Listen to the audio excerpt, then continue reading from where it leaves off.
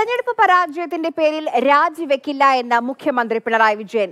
മോദിയെ താഴെയിറക്കാൻ കോൺഗ്രസ് ജയിക്കണമെന്ന് ജനങ്ങൾ കരുതിയതാണ് ഇടതുമുന്നണിയുടെ പരാജയത്തിന് കാരണം.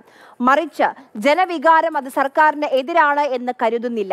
തന്റെ രാജി ആവശ്യപ്പെടുന്ന കോൺഗ്രസ് നേതാക്കൾ ആദ്യം അവർ ഭരിക്കുന്ന സംസ്ഥാനങ്ങളിൽ പോയി ഉപദേശിക്കട്ടെ എന്നാണ് പിണറായിയുടെ മറുപടി.